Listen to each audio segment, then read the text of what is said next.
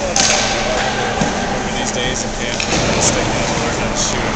Go this where this where the dream all starts. So it's exciting. See Kyle Turris in the hallway over there uh, bring back some memories of your draft and uh, that day for you, what it was like.